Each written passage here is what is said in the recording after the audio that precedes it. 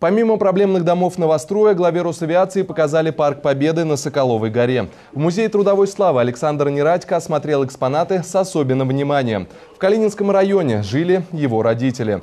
Посетил гости в строительную площадку нового аэропорта в Сабуровке. Странно, что Министерство информации и печати области постаралось окружить визит федерального чиновника тайной. И эта поездка прошла без местных СМИ. Впрочем, сам Нерадько заявил, что это исключительно деловой визит.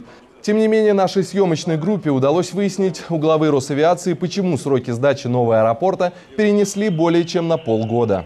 Срок сдачи всего аэропортового комплекса – это октябрь 2017 года. Может быть, это могло осуществиться раньше, сдача в эксплуатацию аэропортового комплекса, но вот посоветовавшись с бизнесом, посоветовавшись со всеми, мы приняли решение об изменении длины взлетно-посадочной полосы Ранее она была запланирована 2650 метров, сейчас 3 километра. На взлетно-посадочной полосе осталось э, уложить марочный бетон и выполнить удлинение до, э, на 350 метров, до 3 километров.